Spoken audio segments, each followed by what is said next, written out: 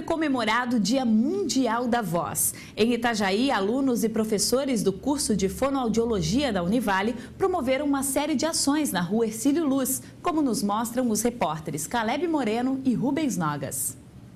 O esforço e uso contínuo da voz podem causar danos irreversíveis às cordas vocais. Existem duas teorias básicas para a origem da vida. A primeira seria a teoria da biogênese, que fala é, sobre a origem dos seres vivos que teriam surgido de nada. Dagma, há 42 anos, está envolvida com a educação. No corre-corre da carga horária extensa, pouco tempo sobra para o descanso e a prática de exercícios de aquecimento do sistema vocal.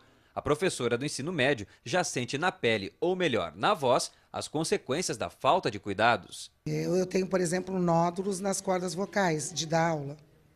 Muito cansativo, então. É exaustante. E entre uma aula ou outra, tem um descanso, uma, uma parada? Não. São 45 minutos de aula. Normalmente a gente dá 5, 10 aulas por dia, até 15. Eu hoje trabalho 15 aulas. E a voz? Continua assim.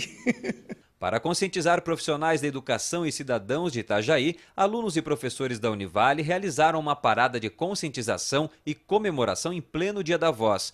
Há 14 anos, a data é relembrada com ações promovidas pela Associação de Fonoaudiologia do Brasil. As dicas para quem quiser manter a saúde das cordas vocais devem ser seguidas desde a infância. É muito difícil a gente descansar a voz, mas você tem que ter período de descanso. Os cuidados que já foram relatados, é, o pigarro, que às vezes se torna um hábito, a pessoa fazer é uma agressão à voz. Não pode. Não pode, isso é uma agressão. As tuas pregas vocais elas estão batendo uma na outra de uma maneira fácil de entender. A ingestão de medicamentos, a automedicação.